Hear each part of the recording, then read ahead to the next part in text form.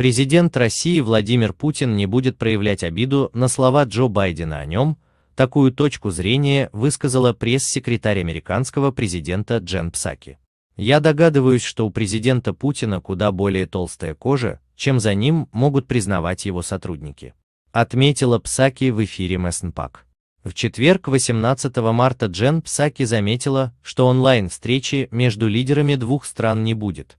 У Джо Байдена намечено множество встреч в Джорджии, и он будет занят. По ее словам, президент США уже проводил телефонные переговоры с Путиным, в то время как есть еще множество глав государств, с которыми Байден пока не контактировал. Ранее лидер США на вопрос корреспондента ABC о том, считает ли он российского президента убийцей, дал утвердительный ответ. Кроме того, Байден пообещал, что Владимир Путин ответит за вмешательство в избирательную кампанию по выборам президента США.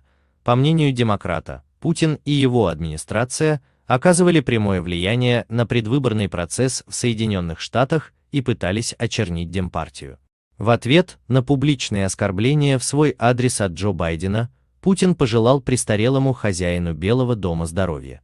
Он подчеркнул, что оценка других людей подобна взгляду на себя в зеркало, и предложил Байдену подискутировать в прямом эфире в пятницу или в понедельник.